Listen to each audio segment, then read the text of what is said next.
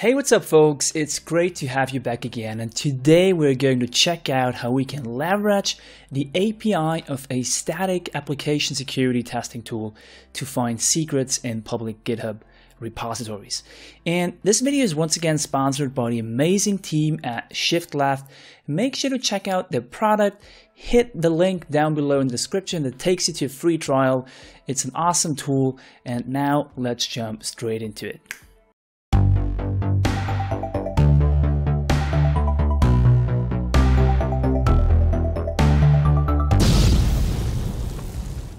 Alright fellas, so let's jump straight into finding our secrets with the ShiftLeft API. And the screen we're having over here should be well known to you if you have checked out the previous two episodes. So I'm not going to dive into how I created those two applications. I am going to use the Shift Left JS demo application out of the previous video. And what I have provided for you is a little demo app that uses ShiftLeft's API.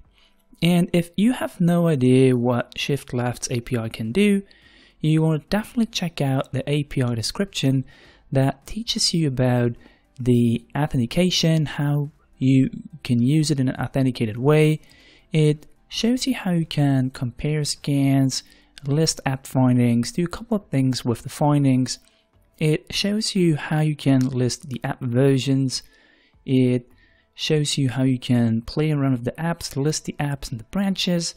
You can compare the scans, you can list the scans, and you can put down comments on specific findings and list all of them via the app. So that's pretty cool. But I've already went ahead and prepared a little Python app for you. And let me quickly show you what this is doing.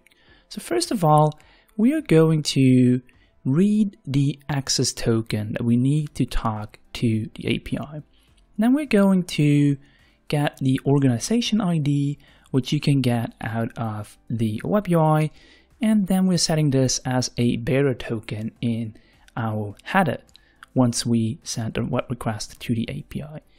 And I want to show you a couple of examples. So over here, I have the API query to list all the apps. And I'm just going to run this right now. Let's do that. We see that the code is executed down below here. And if we look closely, we have found two applications.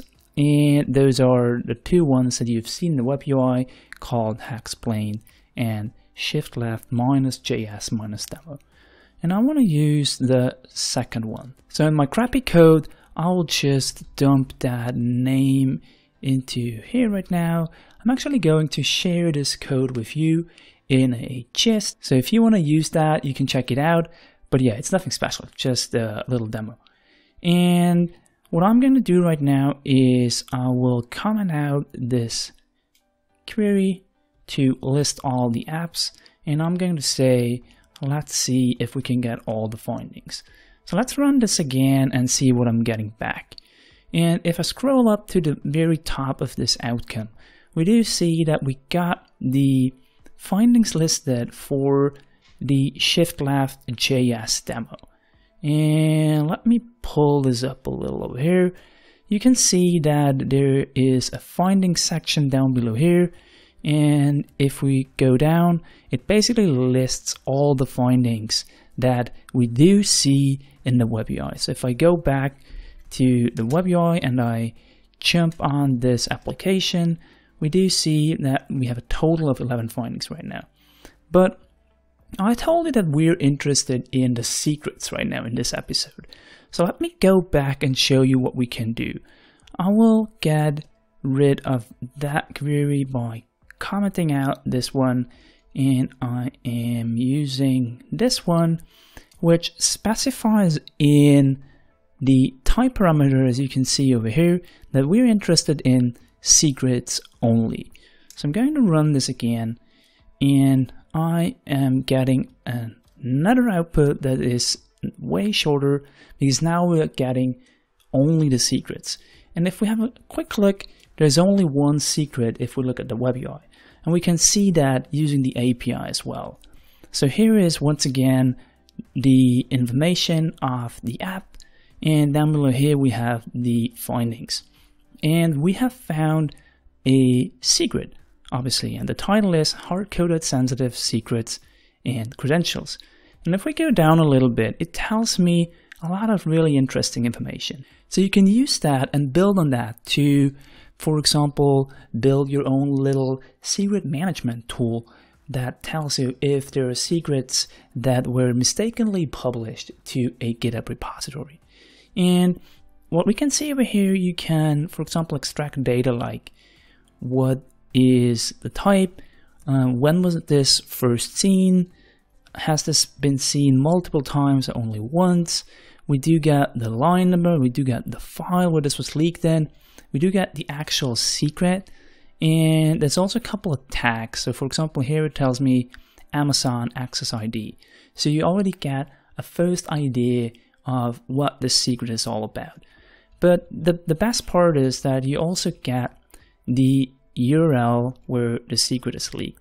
So let's take that, jump back over here and fire that into our browser. And what we can see down below here that in line number 57, we do have our constant Stripe client ID, AKIA, yada, yada, yada. So this is the secret that we have found by using a static code analysis tool, by using shift left.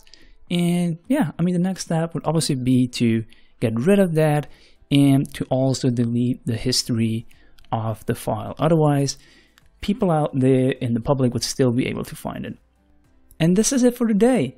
Check out this solution. Maybe you also find some secrets in public GitHub repositories.